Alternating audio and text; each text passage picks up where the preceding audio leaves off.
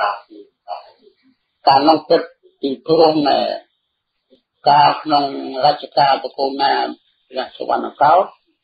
គឺការលើធ្វើអ្នកក្រុងហ្នឹងការនៅលោកលោកអ៊ឹមឈុំមានភូមិផែនទីនៅផលរបស់លោកប្រអង្គគង់ក្នុងផ្លូវអីឈ្មោះផ្លូវអីទាំងហ្នឹងបែកជា4លានតែមួយកន្លែងនេះគឺតាមដំបូងព្រោះទាំងហ្នឹងសិតតែសៀមសិតតែមនុស្សនៅលុកលោយាយតៅយាយណាស្មាស្គាល់ទៀត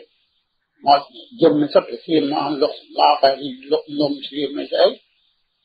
ក៏សៀមគេហៅថាតឡាបស៊ីយ៉ែស៊ីនោះមក4អាយ៉ែនោះវិញញ៉ែ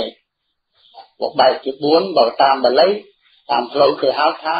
ចតុសង្ឃាតដាក់គឺផ្លូវតឡែងកែងហ្នឹងបើបុរាណគេដឹងគេហៅផ្លូវតឡែងកែងតឡែងកែងមាន3ក៏មានមាន4ក៏មានបើបែកជា3តឡែងកែង3 បើបែកជា4តឡែងកែង4ក៏ដល់ពាក្យនេះកើតឡើងមកពីជាប់ពីភាសាអ្នកអនឹងទេគេហៅតឡាស៊ីយ៉ែនេះក៏ថាផ្សារស៊ីញ៉ែទៅក៏មិនជាខុសទេស៊ីក៏នៅត្រង់ស៊ីនោះព្រោះមិនសម្ដីយើងថាបើថាផ្សារញ៉ែ4ឥឡូវណាដែលវាមិន4វា4មក4តកគ្រប់គ្រប់កន្លែងទៅហើយ